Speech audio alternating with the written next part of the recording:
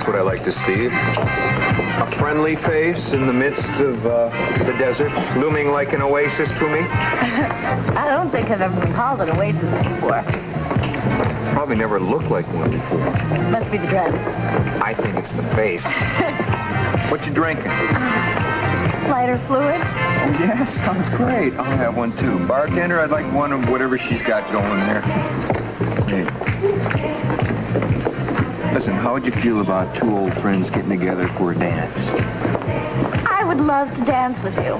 You would? Mm-hmm. Well, all right. Why don't we just leave your drink here to ferment a little bit and let's get out there and show those kids how it's done, all right, honey? Okay. Let's go.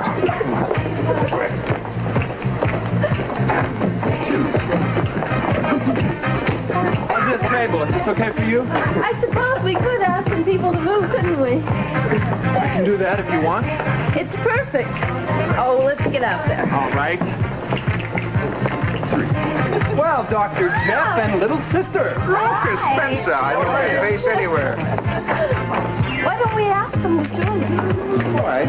Uh, do you, hey, Jeff, do you guys want to join us? When you finish your dance, of course. Uh, yeah, why not? Come on. Let's go. I'll get the drinks. I'm getting old. The best idea I've heard all day. We got our own little party going. Yeah, is the terrific idea. That was Jennifer's idea. Good one, too. Oh, Jennifer, I heard about your father being appointed to the board at the hospital. Yes, he is. He considers it quite an honor. He was so proud when he told me. That's amazing with uh, as many things as your father's got going that he'd be so impressed with something that small. There are so many new businesses. I don't even know how many there are. I think that's why he asked the Baldwin Law Firm to represent him. Well, speaking from experience, I know that that's the trouble with money. When you have so much, you have to surround yourself with people who take care of it for you. I understand that you're Laura's uncle, too? Yeah, yeah, she's my favorite niece. Of course, she's my only niece, but what are you going to do in short notice? I was sorry to hear about what happened in the park that night. Yeah, we all were. It's pretty terrible. Yeah. It must be a dreadful thing for a girl to try to get over.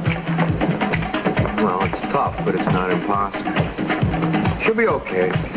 She's got Scotty to help her through it, and he's one of the most understanding people in the world. Hi.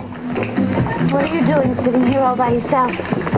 Well, Bobbie, I had my law review class, and Laura's over at her mother's house, and I did not feel like going back to an empty apartment. Is Laura spending the night with another?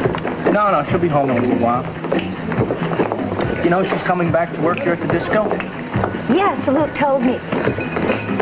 Scotty, how are you? I don't know, Bobbie. I don't know how I am. I, I've got a few problems of my own right now. Well, you know me well enough to confide in me. Or I know you well enough not to confide in me. I've changed. I know, I'm sorry. I know you have. It's it's really no big secret, Bobbie. It's it's me, me, you know? I mean, I talk about being objective and being able to handle the truth about the rape. Well, the truth of the matter is, Bobbie, I don't think that I could handle it all that well.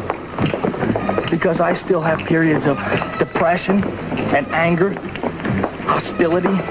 I still want to kill that animal that raped my wife. But there is nothing, but nothing that I can do about it. Excuse me.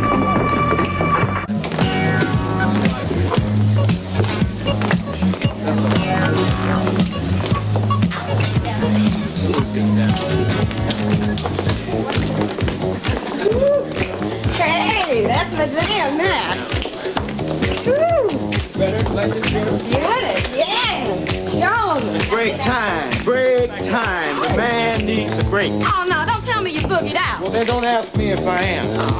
Oh. Hi, how's it going? I'm in desperate need of a ginger ale. And I'm in desperate need of a new dance partner. Viverine hasn't been in here asking for me, has he? Uh, no, but if he comes in, I'll be sure and let him know that you're here. Oh, some friend you turned out to be. Well, look, us girls have to stick together, and I'm with Claudia. If you're going to be such a party pooper, we're just going to have to get somebody else to go with her to Las Vegas. Well, what are you going to do? Just stand there, or are we going to go back to dance?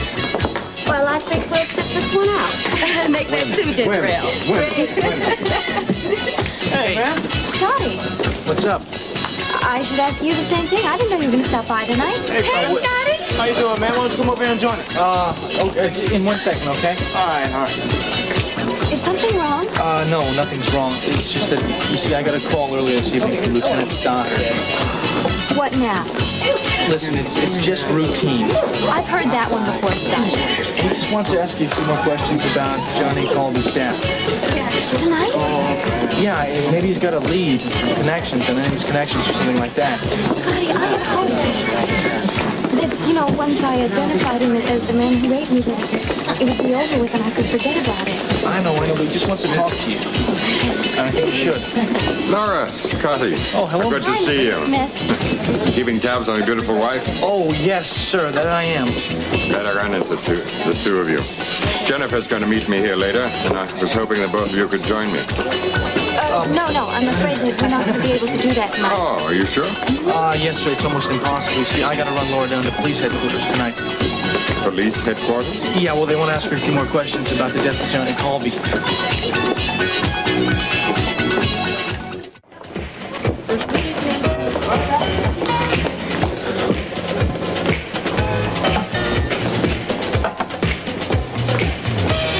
Mr. Smith, what can I get for you?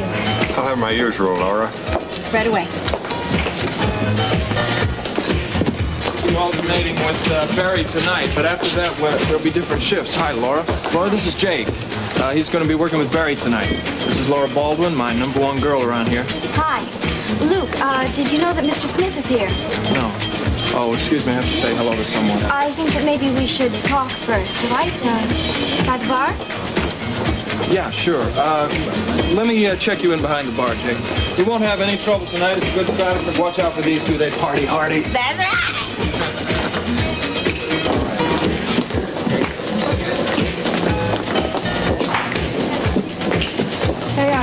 Thanks. Anything else? Just one thing, a smile from you. I, I didn't realize that I wasn't smiling. Is it because you have to go down to police headquarters again? Mr. Smith, I don't have anything else to tell them. I mean, I'm not going to tell them anything else, Mr. Smith. You don't have to assure me of that. I have every confidence in you. You do?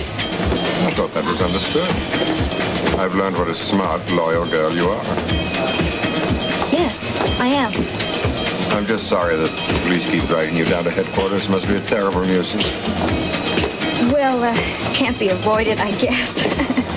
uh, if you'll excuse me, I have a couple more orders to fill. Oh, go ahead. I don't want to interfere with your work. There's only certain customers are allowed to run tabs, so if anybody wants to do that, be sure you check with Jerry or one of the girls first. If you have any trouble, I'm here, okay? Hi. Um, would you do me a favor? I ordered uh, two cognacs from uh, from Barry. I didn't get them yet. Could you? What's up?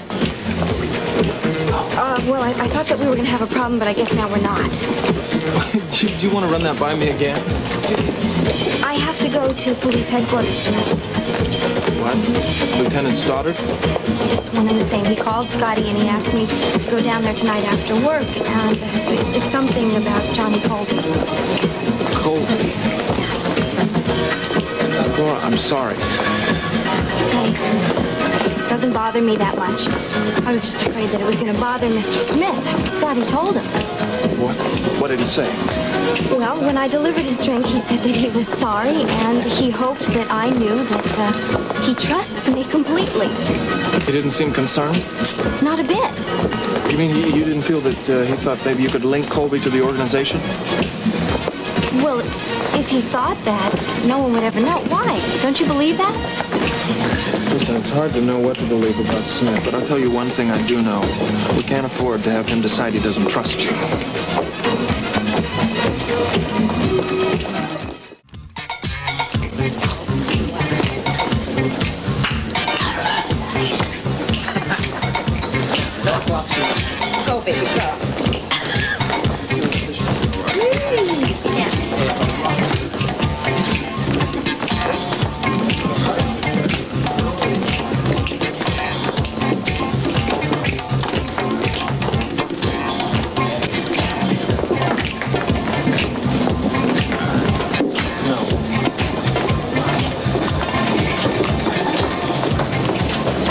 sir, if Laura's being harassed by the police, it certainly doesn't show. She's a remarkable girl.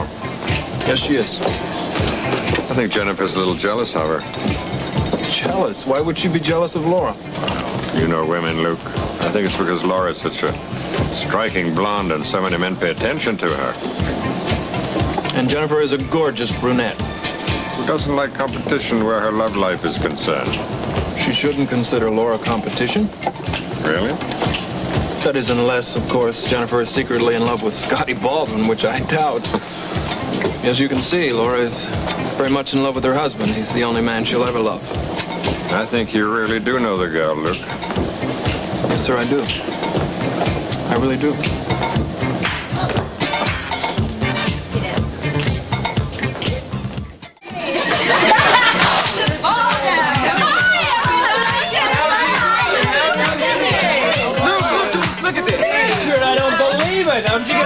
Place in daytime? Well, I'm not here to work. I'm here to have a lot of fun tonight. Great! Yeah, well, make sure there's no exercising on the floor. There won't be any extra. We're gonna dance. Come on, Ben. I'm with you. Hiya, where's Scotty and Laura? Oh, they'll be here a little later. They had to go stop by the hospital.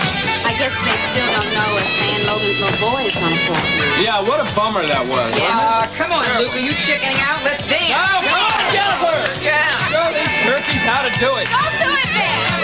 Go ahead, girl. Show 'em how it's done.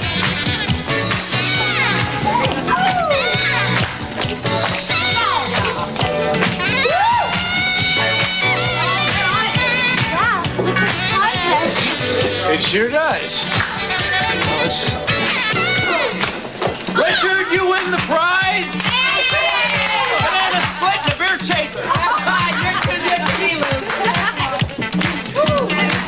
Would you mind if I called the hospital to find out how Jeremy's doing? Get out of my bed. Yeah, I think I'll just talk to the main desk. They'll have a report on it. Excuse me.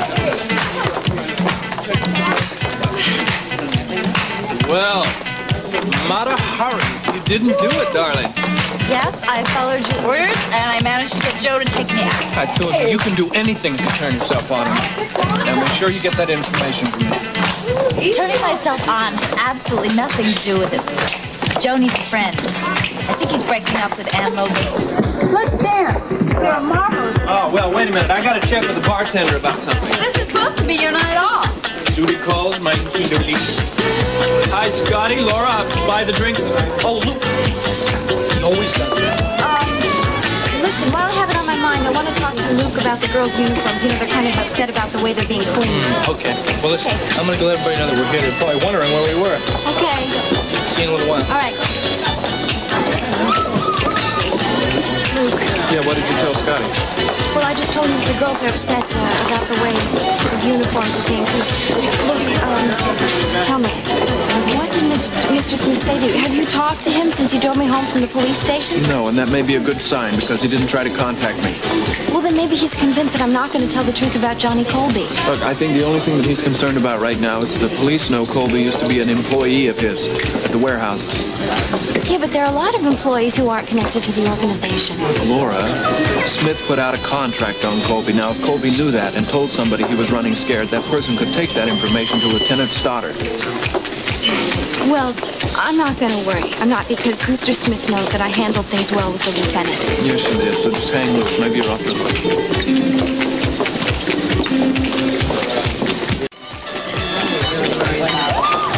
So, I mean, we're really hoping that Jeremy is going to take a turn for the better tonight. Listen, did, did anybody ever find out how the accident happened?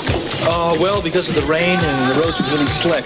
Hi again. Do you mind if I join you while No, Luke's not at all. talking shop? Come on, baby. Look, why don't you why don't we just make a party out of it? Why don't you say, look, come over here and join us, huh? Yeah, why not, Jay? Oh, that sounds What are you doing? Running out on me here? No, I say you ran out on me. Oh, we were just talking business. Well, Luke, they've asked us to join them this evening. Join Well, all right. And I hate to invite you and run, but this one has been pestering me to dance. Yeah, I have. Come on, All right, if they're dancing, come on, baby, might as well show them off. Well, I hate to do this to everyone, but talent must out. Looks like we'll be playing musical chairs this evening. When the music stops, we'll switch, huh? That's a good idea. So listen, um, we're gonna have a party at the apartment. Uh, maybe you two want to come along. But we have everything that we need, Luke. okay? Oh, look, we'd love to come along, but I'm going to bring the booze. No, no, you don't have to do that. Scotty, listen, you need to save that. your money. Let's gonna- dance. Come on. Okay. Continue this. I have a wonderful idea. What do you say we go back to my place, get a pizza, and, guess. well, your enthusiasm is overwhelming. Well, I was just thinking that your roommate probably won't be home. You're probably right. He'll be at the hospital. Keep a look at Jeremy. Does that bother you that he's not going to be home? No, it doesn't bother me. Maybe it should. Why, Inspector Kelly, whatever do you mean?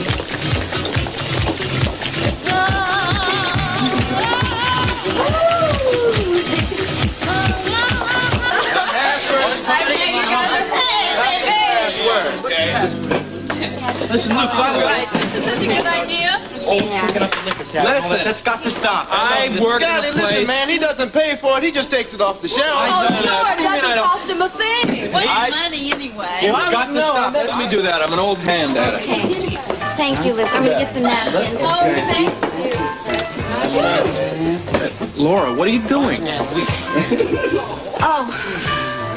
I don't know. I, that was crazy, wasn't it? Yeah, well, I guess it got to be a habit, didn't it? Fear becomes a habit after a while. Well, look, I want you to forget about what I said earlier. Don't worry about it. Luke, how could Johnny Colby know that he was in trouble? Isn't Mr. Smith too smart for that? Colby knew that he should have never been seen watching your apartment. Now, I don't know if we told anybody about that or not, so let's just forget it.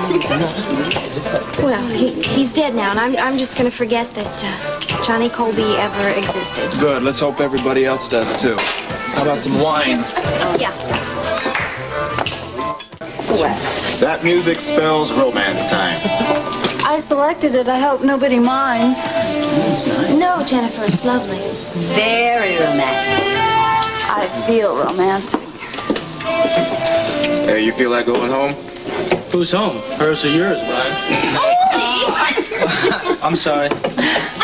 Right? And just think of how romantic it's going to be when we all get to Las Vegas. Oh, I can hardly wait. You know, I'm getting real close to finding out about my bar exam. Yeah? Wouldn't it be terrific if I found out before we went to Las Vegas? Then it would be like a double celebration, huh? What makes you think you're gonna want to celebrate? Oh, oh, Negative.